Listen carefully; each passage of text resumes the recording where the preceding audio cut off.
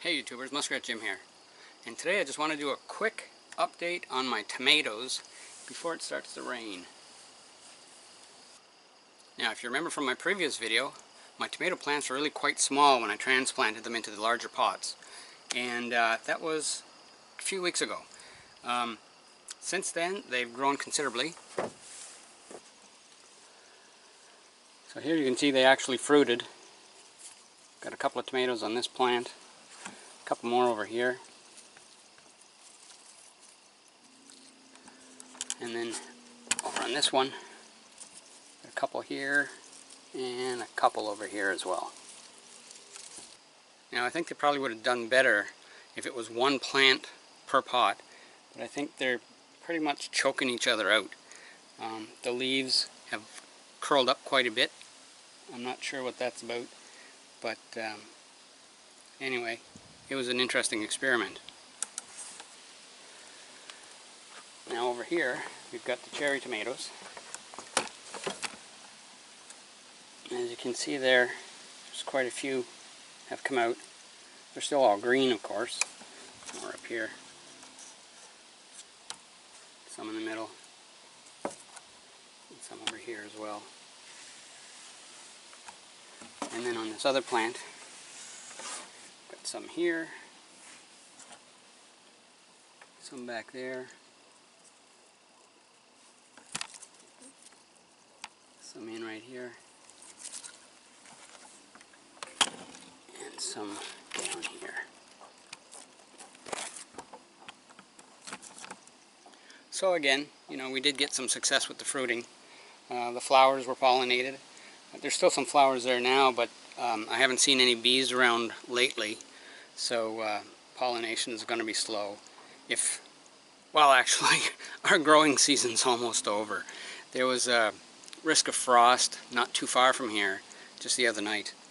So anyway, that's probably why some of these leaves are starting to turn yellow. It's because, um, you know, we've been getting pretty cold evenings. So you can notice the yellow leaves. And over here as well. well actually, you know, looking through the viewfinder, the leaves don't look so yellow. But looking at them in person, I can see that they're really quite yellow. Now, the uh, basil was kind of interesting. See, this is the normal basil, or the basil that I was expecting. And it's gone to flower. But these other pots have something quite different. And they're flowering as well. My son was here a couple of weeks ago, and he's a grocery manager for a food chain, and he said that those other ones, the ones with the purple blossoms, they're actually Thai basil. Never heard of Thai basil before. But anyway, it has a slightly different flavor than regular basil. So anyway, let's give it a bit of a taste test. Take a bit of a leaf here and we'll try it out.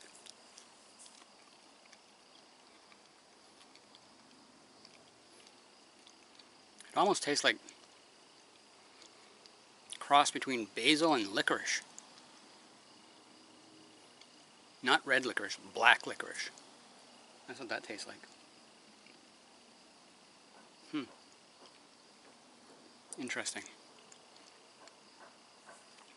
Now I'll try the other basil.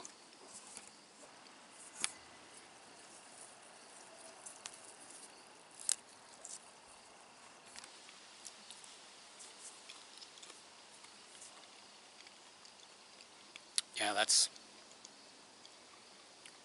that's regular tasting basil for sure.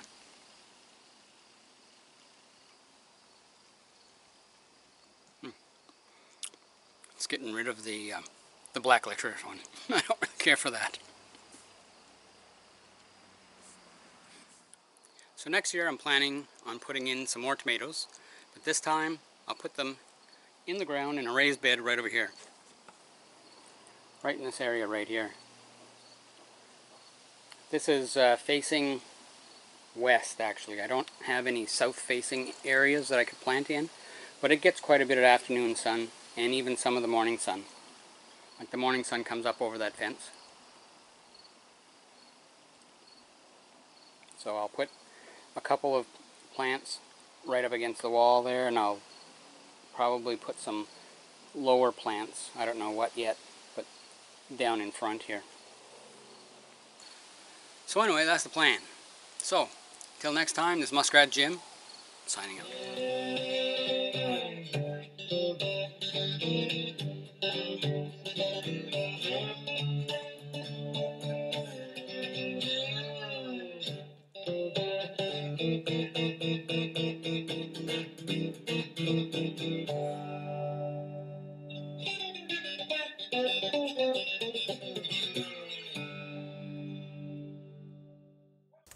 For more muskrat survival videos, be sure to like, comment, share, and subscribe.